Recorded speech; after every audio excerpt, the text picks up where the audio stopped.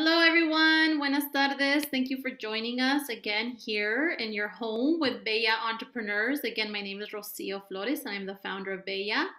Bella, for those of you that don't know, stands for Brillantes Emprendedoras Latinas de Los Angeles.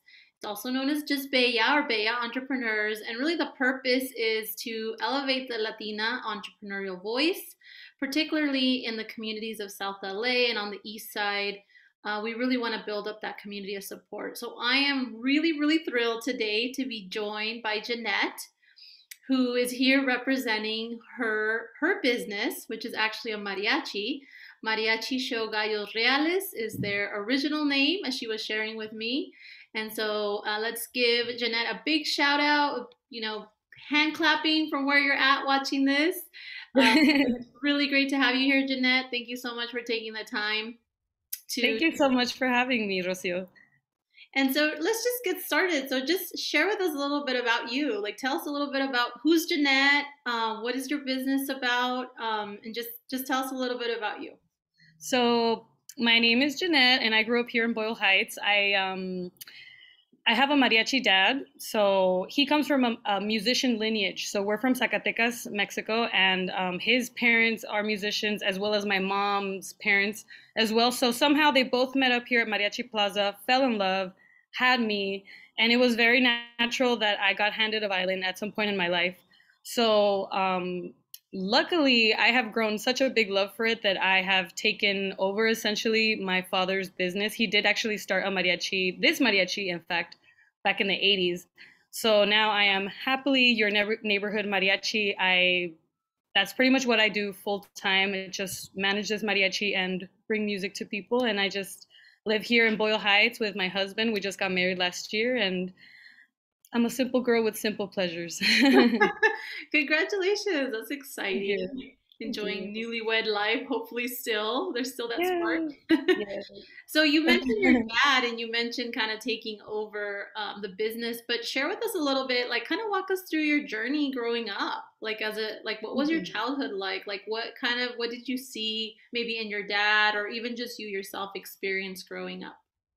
So I had a stay-at-home mom. So luckily, I always had, you know, a hot meal, someone there, you know, for anything that I needed. But my dad was very busy. I did see that he was um, absolutely consumed with his job, and um, he he actually had he managed this mariachi on a much higher level. He had a 12-piece mariachi. I don't do that. That's too many people. It's it's too much. But I did see that his stress level was super high. He was a little tough on us. He was short, you know, because I think maybe he didn't manage the stressors of his business. So maybe for that reason, I wasn't too inclined to follow his footsteps. So although I did have some musical ability, um, I was in music classes in, in middle school and high school, but I just didn't want to pursue it. I thought, oh no, I'm going to get into medicine, I'm going to get into marketing or, or what have you. Mm. Um, but I think because I just saw my dad just, struggling so much, and in a way, I, I felt for him. But then I thought, I I don't think I want to live through that. I don't. Um, but now it's sort of a lesson that I carry with me all the time because I try to not allow the stress of this job because it is super stressful to manage a mariachi. I really try to not let it get to me, although I am definitely still learning and I I I face so many um, moments where I think, oh, no wonder my dad said this, or no wonder my dad, you know, decided to do this for the business. So um, I really had a role model growing up of a person who was just like, pers- just persevering through anything, ideas, just really pushing for success, and he was really hungry for success. So I had a great role model in business, I would say. So what do you so what actually inspired you to to kind of like you said take over the business? This was originally your dad's mariachi and then you kind of stepped into was this something that you like embraced fully? Was there a little bit of like, you know, discernment that had to take place before you were like, is this something that I really want to do or what was that? I like? yeah, I definitely had to think about it and I did hesitate. There was a couple of years. I have been doing this um, myself for a couple of years already, maybe about 3 um, however, prior to that, there was a couple of years of, of like a push and pull of mm-hmm. should I, shouldn't I? I would extend my help towards the business, but to a, a certain limit because I didn't want to, um, again, stress out. Um, however, it was a really emotional reason why I decided to stay on. I just became so inspired whenever I would go play events. The older that I got and I saw my audience become younger, I would see little kids come up to me and and and want to grab my instrument. I'm like, yeah, grab it. I don't care. They won't break it. It's okay. And I started to see that there was a cultural value in what I was doing. Um, on top of that, in my mariachi is my younger sister, and I do feel like I felt like we we gave each other strength.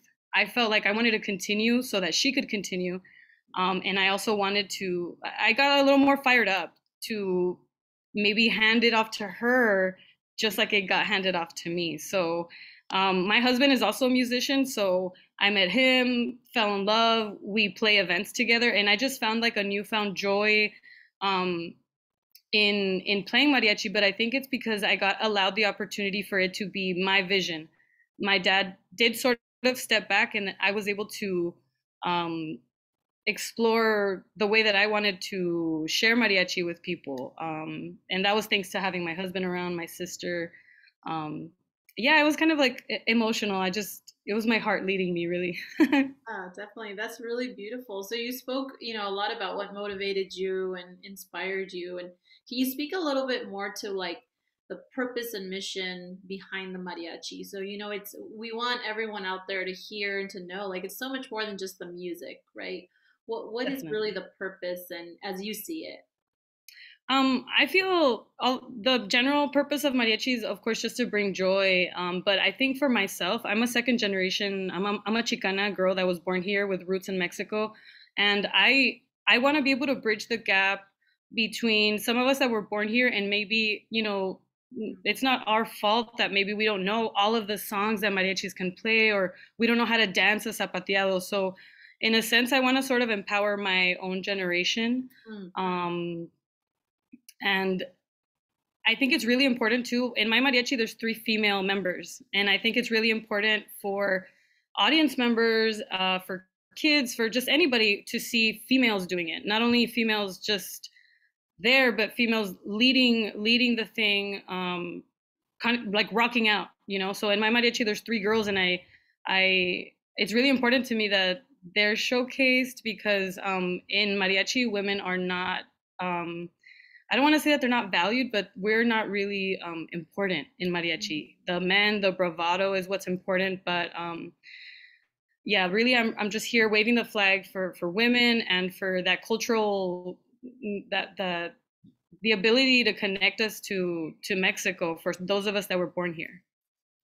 That's awesome. So what what um speaking to that, what what are some of the other struggles that you've encountered? Because it's not easy you know it's not all, all, kinds of businesses it's difficult but what are some of the challenges or struggles you you encountered and maybe still encounter? I would say um, it's difficult um, for myself and including my clients and audiences to put a value a monetary value on certain things. Um, our, our performances obviously have a financial compensation for them and um, our skill for example, I learned to play the violin, but because it took me many lessons or it took me many years. So, um, what I struggle the most is sometimes um, educating people in that mariachi is not easy, and it's not it's not easy and it's not affordable to do. Um, we are wearing outfits that are above a thousand dollars. Sometimes we're um, losing time away from our families. So sometimes uh, I get like haggled, and I think do do you realize that i'm wearing gold earrings? I'm gonna make your mom cry. I'm gonna i'm gonna make your family laugh you know? Um, so it, it's a strange world to be dancing around the financial compensation of of sort of an emotional service you know? It's I, I don't know if you could if you could relate to that if you could yeah. That's that's one of the biggest struggles i would say. Um, a couple others are are obviously being um, taken seriously as a woman. Sometimes people think that um, uh, that they can talk to me a certain way or get things done a certain way because I look young and sweet, but um, I do have to put my foot down um, in certain situations, you know, um, to give myself the the esteem and the respect that I think a male in my position would have. Yeah, that's really interesting. I think that's not um, you know, we hear about like male dominated industries in business as well. And, you know, we don't always think about like the music industry as maybe one of those businesses. But I think you've brought to light really the, the harsh realities, you know, that you have to face. I think, um, to your point, being a woman in a male dominated industry, really, which is, yeah. which is mariachi, right? Yes. Um, so what, what kind of tips or advice would you give to other, um, particularly uh, Latina women who are looking at starting their business or maybe are kind of in their first years of business um, in general, and then particularly maybe speaking to the industry that you're in? Sure. I would say um, something that I find really important is that I think you'll be motivated if you have your your point of view and your intention really clear and genuine. Um, I've seen a lot of companies come and go, and it's very trendy or the logo is really cool, but there's no soul. And I would say that a long a, a business with longevity and a business that will succeed is going to come from within you, and that is going to be able to sustain it. So I would say that in general, um, just lead with soul and lead with intention because if you're not being genuine with your business, um, eventually people will stop following you um, or you know it just won't mean anything to anyone. So just be genuine in what you're doing. Um, as far as um, girls in music or girls in the arts, I would say be fearless. If you want to sing loud, sing loud. If you want to dance faster than the next guy, do it. If you want to paint a mural instead of, you know, I, I want girls to go big, go for it because mm. fear, um, fear is going to hold you back. So, especially in the arts, if you if you're going to be a person that is going to shine you have to try to shine you have to be eager about what you're doing and people really like that they like to see the spark so there's a lot of people that could draw maybe people that could sing a song but only certain people can transmit magic to you and if that magic is within you there is nothing that can stop you oh my gosh, that's so beautiful. You're inspiring me so much, Jannette. Thank you so much for sharing all of that. That's beautiful. Okay. And I think in a time right now when you know, we've been going through so much just in the last year with the pandemic, but all the racial tensions and racial injustices we're seeing, I think, and and against different races, but also against women. And you know, I think your words really are going to resonate with all those that are listening right now. So thank you for just opening your heart and being super vulnerable with us and just sharing kind of what your what your experience has been, but also about what you're thinking and feeling. Um, kind of just a, a, last question, I'll say to wrap it up, but feel free to take as long as the time you yeah. want to answer it. Is uh, just anything else you want to leave the audience with, assuming that again, there's um, kind of a diverse audience. You know, all all folks will be listening, but mm-hmm. anything you want to say, um, last comments, final thoughts to maybe the Latina entrepreneurs out there too. Anything that maybe we we didn't capture in the questions that you want to share. Um, I would just say just some general advice, maybe to everyone is just is, is maybe what I said earlier is to put some magic in your life. If you want to do something for yourself, if you want to make a business, uh, if you want to start a business, if whatever you want to do, don't do it with fear. Do it like you're adding a little bit of magic into your life, and it's gonna just look at it in a positive way. Don't ever look at the the hurdles. I try to look at my business that way. If something happens, I just go, "Whoops, I didn't know how to navigate that. Oh well, tomorrow's another day, you know. Mm-hmm. Um, just don't don't look at things so negatively and so heavily, and just you know try to put magic and positivity in things, and nothing will ever faze you if you stay happy and light. You know, just I would just say to people just that, just stay just stay positive and support your local mariachi. Mariachis are working hard. Mariachi girls are practicing, getting outfits done, getting you know um, learning a bunch of Jenni Rivera songs to make you happy. Like, um, invite a mariachi into your home, and you'll find that we are sharing something really special. Um, and yeah, support your local mariachi. Thank you so much, Jannette. Um, again, follow uh, the mariachi. The I point down always because we're going to have the IG label down here at the bottom and the website. Please make sure that you support uh, mariachis in general, but particularly the mariachi that Jannette's representing here today, Mariachi Show Gallos Reales. And Jannette, thank you so much for your leadership and just your courage and strength that you transmitted throughout this interview. I'm just really humbled and appreciative of you taking this time uh, to share with us. So thank you so much. Um, everyone that's out there, thank you so much for tuning in. Until next time, familia, remember to support and shop local, support your Latina businesses, support, support your mariachis in your community. Suerte, adelante a todos. See you later. Bye. Bye.